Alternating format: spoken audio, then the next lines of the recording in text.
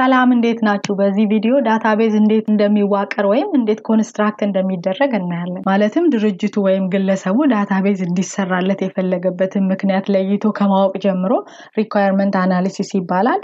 እያንዳንዱን የ database ክፍል እንዴት እንደምንፈጥር፣ እነዚህ ክፍሎች ደግሞ ተቀናጅተው እንዴት የመጨረሻውን database ማምጣት እንደሚችሉ እናያለን። ስለ SQL ስለ ራሱ ስለ ቋንቋ ማውራታችን ሳይረሳ ማለት ነው። እስከመጨረሻው ቆዩ። ይህንን ትምህርት ለመውሰድ ምንም ቅድመ ሁኔታ ወይም prerequisite የለም።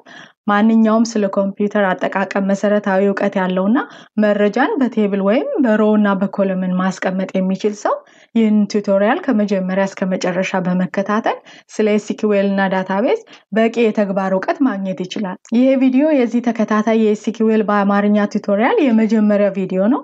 ቀጣይ ቪዲዮችንም እንድትመለከቱ አበረታታችኋለሁ። ምክንያቱም SQL ከሌሎች የኮምፒውተር ቋንቋዎች ለመማር የሚቀል ነገር ግን በጣም በዓለም አቀፍ ደረጃ ተፈላጊ የሆነ ብዙ የስራ እድሎች ያሉት programming language ነው።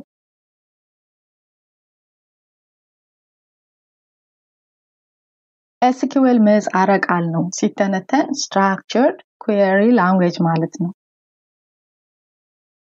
ሰው ከሰው ጋር በቋንቋ በምልክት የሚሆን በቃላት ቋንቋ እንደሚግባባ ሰው ከኮምፒውተር ጋር የሚግባባቸው ቋንቋዎች አሉ።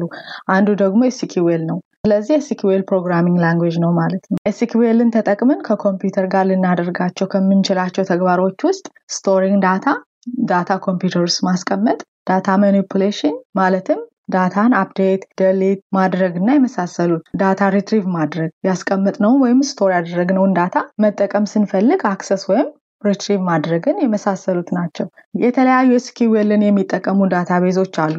ለምሳሌ SQL Server database፣ Oracle database፣ MySQL database። ነገር ግን SQL ለሁሉም standard language ነው። ይህም ማለት SQL Server ን ወይም Oracle ን ወይም MySQL ን ብንጠቀም SQL ያው ነው ማለት ነው። ልክ አንድ ኪሎ ግራም ሁሌም አንድ ኪሎ ግራም እንደሆነ ማለት ነው። የትም ሀገር ውስጥ አንድ ኪሎ ግራም ስኳር ያው አንድ ኪሎ ግራም ነው። ይህ ዓለም አቀፍ ስታንዳርድ ነው። SQL ም እንደዛው ሁሉም ጋር ያው ነው። ነገር ግን ከላይ የጠቀስናቸው database ኦች እያንዳንዳቸው በ standard ኡ SQL ላይ የተወሰኑ ተጨማሪ functionalities አካተዋል። እነዚህ ተጨማሪ ነገሮች ግን ያን ያህል ትልቅ ልዩነት የሚፈጥሩ አይደሉም። ልክ አማርኛ በተለያዩ ቦታዎች የተወሰኑ ለውጦች እንዳሉት፣ ነገር ግን ዋናው አማርኛ ሁሉንም እንደሚያግባባ ማለት ነው። እነዚህ database ኦች SQL ን በተለያየ ስም ይጠሩታል። ለምሳሌ SQL Server የራሱን SQL T-SQL ብሎ ነው የሚጠራው።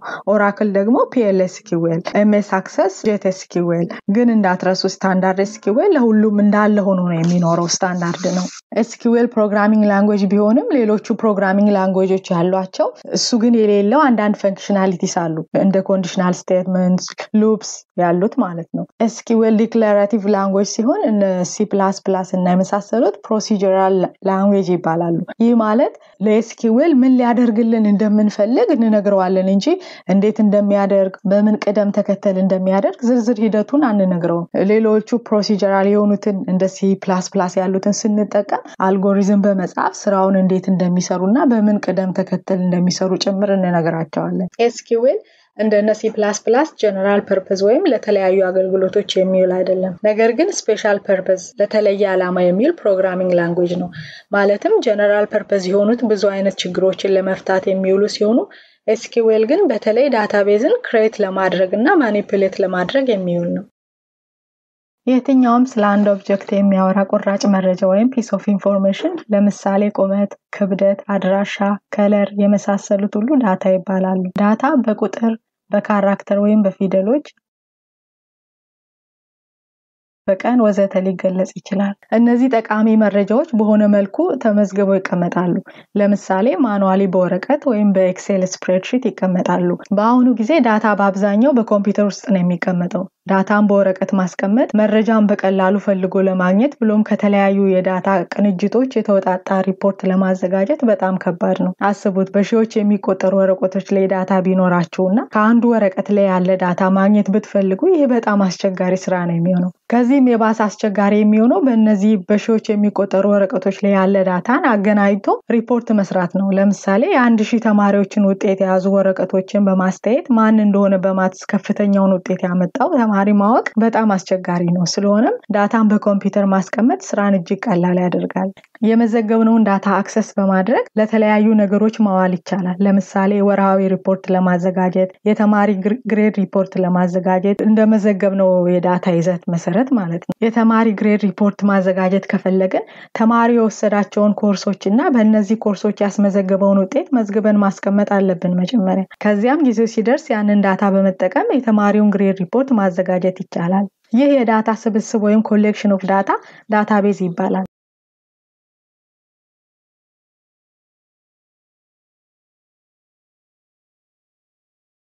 አሁን የምናየው የ relational database ን designing ነው። ስለ database አይነቶች በኋላ እናያለን። ቤት እንዲሰራለት የፈለገ አንድ ሰው ቤቱን ለሚያሰራለት ኮንትራክተር ምን አይነት ቤት እንደሚፈልግ፣ ስንት ክፍሎች እንዲኖሩት እንደሚፈልግ ምን አይነት መስኮትና በር እንዲገጠምለት እንደሚፈልግ እና የመሳሰሉትን ፍላጎቶቹን ያሳውቀዋል። ከዚህም በመነሳት የቤቱ ዲዛይን ተነድፎ ቤቱ ይገነባል። relational database ን design ለማድረግ የመጀመሪያው ነገር database ኡ ለምን አገልግሎት እንደተፈለገ ማወቅ ነው። database ውስጥ ምን አይነት data እንደሆነ የሚቀመጠው database ኡን የሚጠቀሙ እነማን እንደሆኑ፣ database ኡን በምን መልኩ ሊጠቀሙ እንደሚፈልጉ የመሳሰሉትን ነገሮች ማወቅ። ይህ requirement analysis ይባላል። requirement analysis ን ለማቅለል በተለያዩ ክፍሎች መከፋፈል ይቻላል። ለምሳሌ የድርጅቱ ፍላጎቶች company requirements፣ database ኡ ላይ የሚሰሩ ሰዎች ፍላጎቶች users requirements፣ በድርጅቱ የሚሰሩ አመራሮችንና ሰራተኞችን በማነጋገር እንዲሁም ድርጅቱ ውስጥ ያሉ በጽሁፍ የተቀመጡ መረጃዎችን በማጥናት እነዚህን requirement ኦች መሰብሰብ ይቻላል። የሰበሰብነውን requirement ለማጠናከር ከዚህ በፊት የተሰሩ ተመሳሳይ database ኦችን መመልከትም ይቻላል። ለምሳሌ የትምህርት ቤት database ከሆነ እየሰራን ያለ ነው፣ ከዚህ በፊት የተሰሩ የትምህርት ቤት database ኦችን መመልከት ይቻላል። requirement analysis ስንሰራ ተደጋጋሚ መረጃዎችን ለማስወገድ መሞከር አለብን። ተመሳሳይ የሆኑ አስር ፍላጎቶች ካሉ አንዱን አስቀርቶ ዘጠኙን ማስወገድ ይረዳል። ይህንን analysis ስንሰራ ድርጅቱ ሁለት እጅግ የተለያዩ ፍላጎቶች ካሉት ምናልባት ከአንድ በላይ database ለመስራት ልንወስን እንችላለን። እነዚህን ግንኙነት የሌላቸውን ፍላጎቶች በተናጠል ለማስተናገድ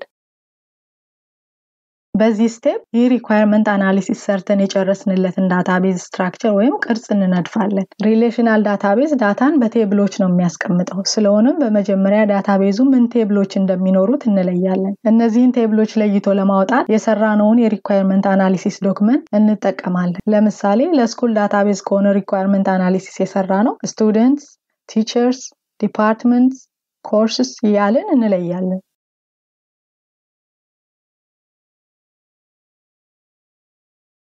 የተለያዩ ነገሮችን በአንድ table group አታድርጉ። ለምሳሌ ተማሪዎችና ኮርሶች በአንድ table መቀመጥ የለባቸውም። database ኡ የሚኖሩትን table ኦች ከለየን በኋላ እያንዳንዱ table ምን fields ወይም columns እንደሚኖሩት እንለያለን። እነዚህ fields በዛ table የምንመዘገበው መረጃ በማብራራት የሚገልጹ ናቸው። ለምሳሌ በ students table አንድን ተማሪ ከሚገልጹ columns ውስጥ student ID፣ first name፣ middle name፣ last name የመሳሰሉት ናቸው። ከዚህ በኋላ እነዚህ fields ምን አይነት data ወይም ምን data type እንደሚመዘገብባቸው እንወስናለን። ማለትም ቁጥር ነው ወይስ ፊደል ነው ወይስ ቀን የሚለውን እንለያለን። ለምሳሌ የ students table field ኦች እንደሚከተለው አይነት data type ሊኖራቸው ይችላል።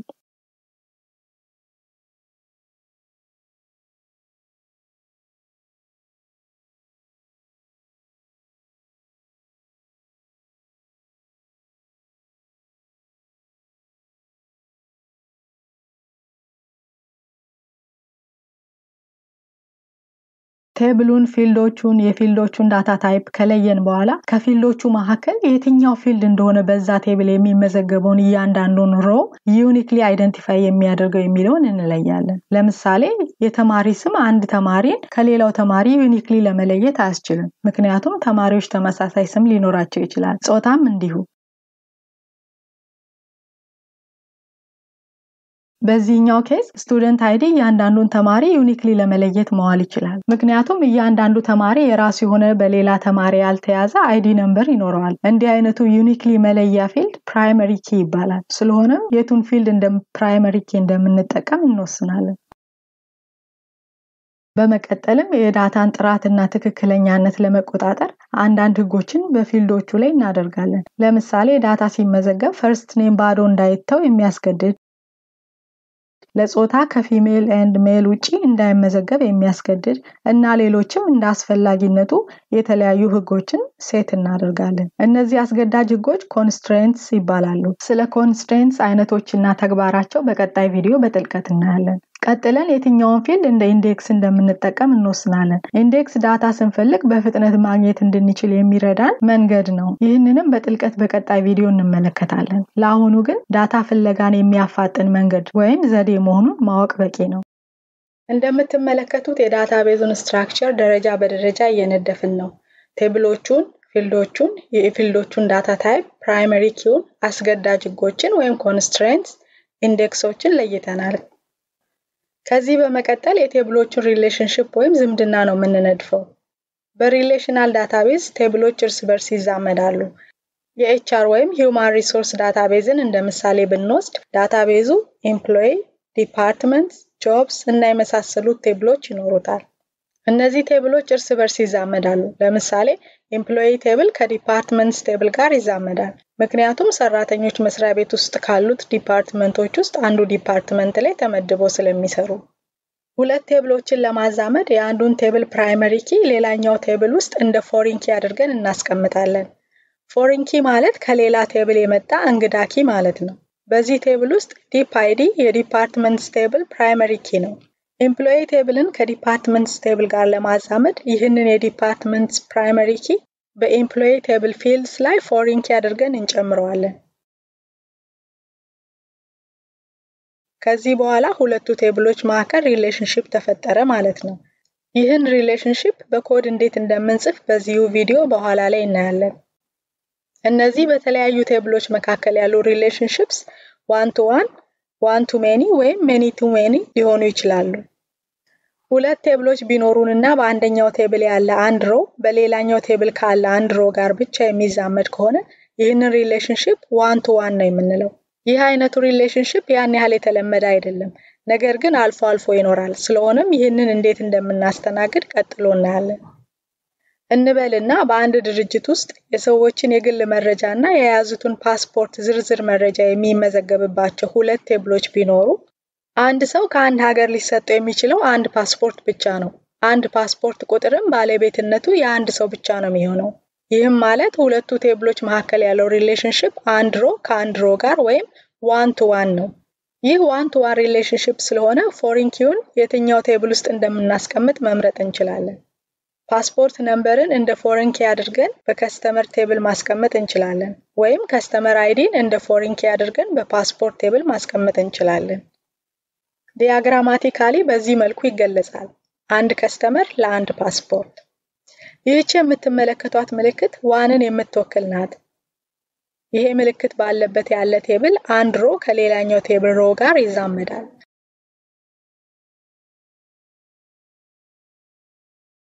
በአንድ table ያለ አንድ row በሌላኛው table ካሉ ብዙ rows ጋር ሲዛመድ ይህንን relationship one to many እንለዋለን። ለምሳሌ አንድ የክልል ፕሬዝደንት በክልሉ ላሉ በርካታ ነዋሪዎች ፕሬዝደንት ሲሆን አንድ የክልል ነዋሪ ግን አንድ የክልል ፕሬዝደንት ብቻ ነው የሚኖረው፣ ያውም እሱ የሚኖርበት ክልል መሪ ማለት ነው። diagrammatically በዚህ መልኩ ይገለጻል። አንድ ፕሬዝደንት ለብዙ ነዋሪዎች። ይህች የምትመለከቷት ምልክት many ን የምትወክል ናት። ይህ ምልክት ባለበት ያለ table ያሉ ብዙ ሮዎች ከሌላኛው table row ጋር ይዛመዳሉ።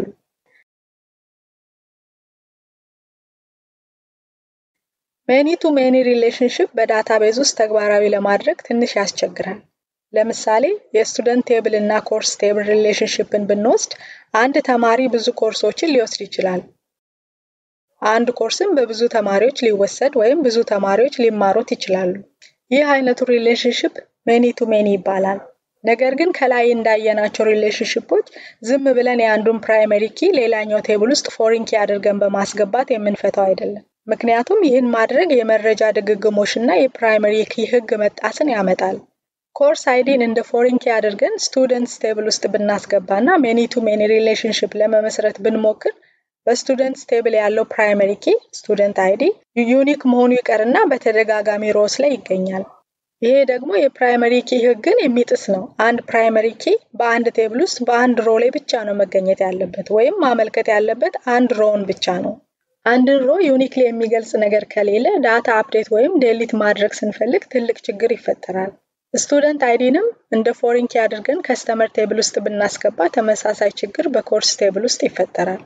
ይህንን ለማስወገድ እና ከአደጋ የጸዳ many to many relationship ለመፍጠር ተጨማሪ አዲስ table ያስፈልገናል። ይህ table students እና course table ሊኖራቸው የሚችለውን እያንዳንዱን ግንኙነት ይይዛል። ለአዲሱ table ከ students እና course table ያመጣናቸውን ሁለት foreign keys እንደ composite primary key ወይም ጥምር primary key አድርገን መጠቀም እንችላለን። ወይም ደግሞ የራሱ የሆነ primary key ልንፈጥርለት እንችላለን። ስለ composite primary key በዚሁ ቪዲዮ ተጨማሪ ነገር እናያለን። አዲሱ table ሌላ ተጨማሪ ፊልዶች ሊኖሩትም ይችላል። ለአዲሱ table ስራውን ገላጭ የሆነ የትኛውንም ስም መስጠት ይቻላል። አንዳንዴ ቴብሎች ከራሳቸው ጋር ይዛመዳሉ። ለምሳሌ በ employee table አንድ ሰራተኛ የሌሎች ሰራተኞች ማኔጀር ይሆናል። ይህ ሰው ማኔጀር ቢሆንም የድርጅቱ ሰራተኛም ነው። ይህ አይነቱ ዝምድና self referencing relationship ይባላል። ቴብሉ ከራሱ ጋር ሲዛመድ ማለት ነው። ኮድ መጻፍ ስንጀምር ከተዛመዱ ቴብሎች የተውጣጣ ሪፖርት ወይም መረጃ ስንፈልግ join ን እንጠቀማለን። ስለ join ም በጥልቀት በሚቀጥሉ ቪዲዮዎች እናያለን። እስካሁን one ን እና many ን እንደሚከተለው ባሉ ምልክቶች ገልጸናል። ዝምድናዎችን የሚገልጹ ሌሎች ምልክቶችም አሉ።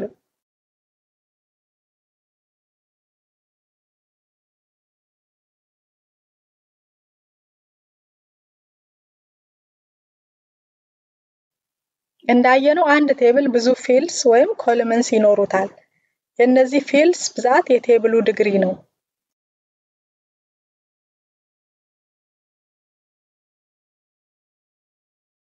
ለምሳሌ table one ዲግሪው ሶስት ነው፣ ምክንያቱም ሶስት fields ነው ያሉት።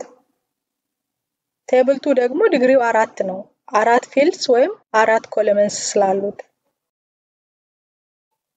እያንዳንዱ table data በገባበት ቁጥር የሮዎቹ ቁጥር እየጨመረ ይሄዳል። የአንድ table የ rows ብዛት የቴብሉ cardinality ነው። ለምሳሌ table one cardinality ው አምስት ነው፣ አምስት rows ስላሉት። table two ደግሞ cardinality ው ስድስት ነው፣ ስድስት rows ስላሉት።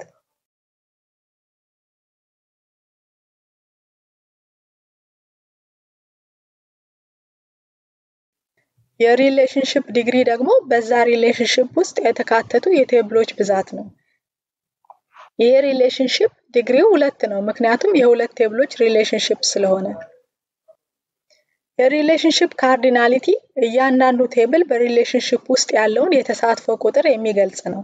ይህም ቀደም ሲል እንዳየነው one to one ወይም one to many ወይም many to many ሊሆን ይችላል። ይሄ relationship cardinality ው one to many ነው። የ relationship cardinality በምልክታዊ መግለጫ እንደሚከተለው ነው የሚገለጸው።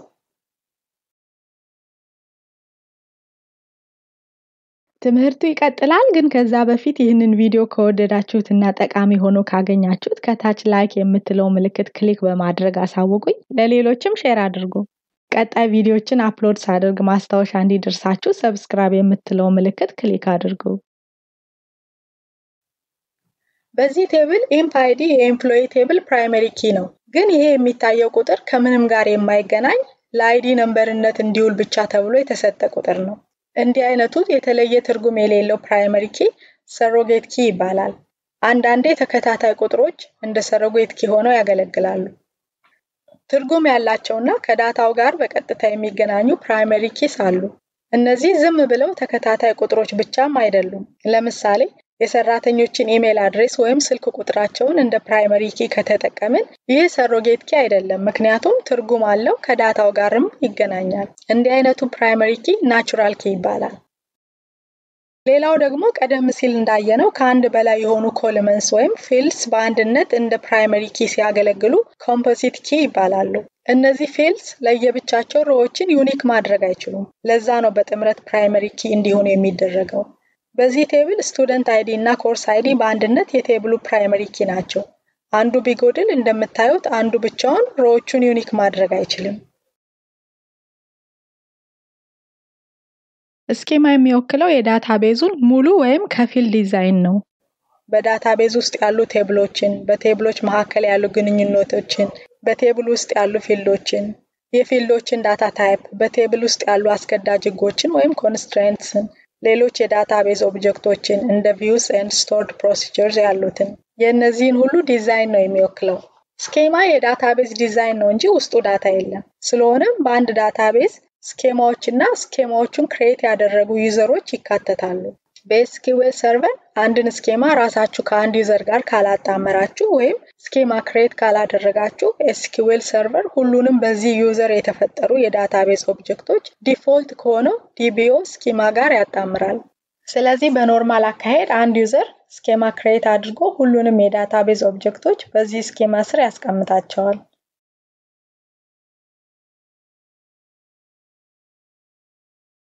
database create ተደርጎ ጥቅም ላይ ከዋለ በኋላ ከጊዜ ጊዜ ይዘቱ ይለዋወጣል። ለምሳሌ አዲስ data ሲመዘገብ ወይም ሌላ አዲስ የዳታቤዝ ኦብጀክቶች ክሬት ሲደረጉ ወይም አፕዴት ሲደረጉ የዳታቤዙ ይዘት ይቀየራል። ለምሳሌ በመጀመሪያው ሳምንት students table አንድ ሺ rows ቢኖሩት በሚቀጥለው ሳምንት ሁለት ሺ rows ሊኖሩት ይችላሉ። ይህ የ database ኡን ይዘት ይቀይራል። እነዚህን የ database ከጊዜ ወደ ጊዜ የሚቀያየሩ ይዘቶች ወይም ግኝቶች የ database ኡ instance እንላቸዋለን። በመጀመሪያው ሳምንት instance one፣ በሁለተኛው ሳምንት instance two። ይህ ምሳሌ ነው። database በቀናት በሰዓታትም ሊቀያየር ይችላል። አንድ table ብቻ ሳይሆን ብዙ table ኦች ይቀያየራሉ። ይህም የ database ኡን ጥቅል ይዘት ይቀያይረዋል። የ database schema ግን ያን ያህል አይቀያየርም፣ ጭራሽም ላይቀየር ይችላል። የ database instance ግን በየጊዜው ይቀያየራል። እስካሁን እንዳየነው የ database table ኦች እርስ በርስ ይዛመዳሉ። table ኦቹ በበዙ ቁጥር የቱ table ከየትኛው table ጋር እንደሚዛመድ ማወቅ ይከብዳል። ይህን relationship በቀላሉ ለመመልከት በ diagram ማስቀመጥ በጣም ይረዳል። ይህ diagram ER diagram ወይም entity relationship diagram ይባላል። የ table ሌላ ስሙ entity ስለሆነ ነው entity relationship diagram የተባለው። ይህ ER diagram ሁለት table ኦች ብቻ ነው ያሉት። ነገር ግን database በአብዛኛው ብዙ table ኦች ነው የሚኖሩት። ይሄ ለምሳሌ እንዲሆን የቀረበ ነው። ER diagram table ኦችን በ rectangle፣ ፊልዶችን በኦቫል፣ ሪሌሽንሽፖችን በዳይመንድ ቅርጽ ነው የሚያስቀምጣቸው።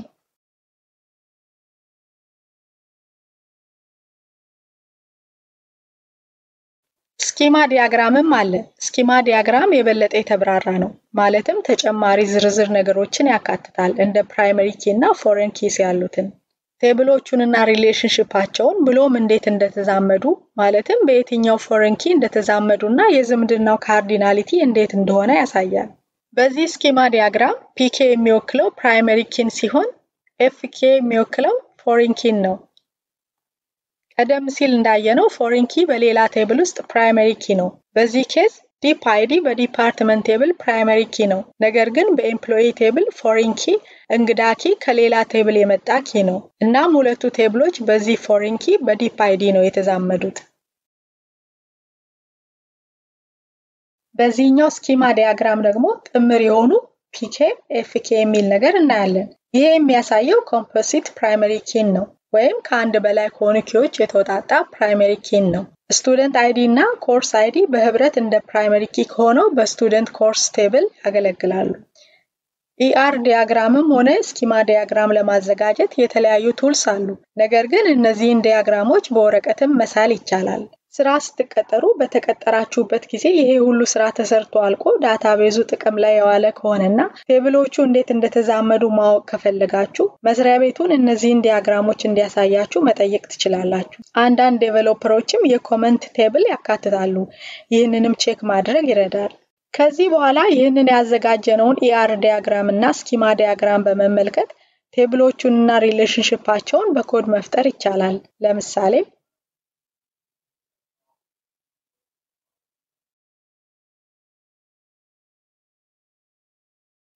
እንግዲህ የ database አወቃቀር ወይም የ database structure እነዚህን ሁሉ ያካተተ ነው።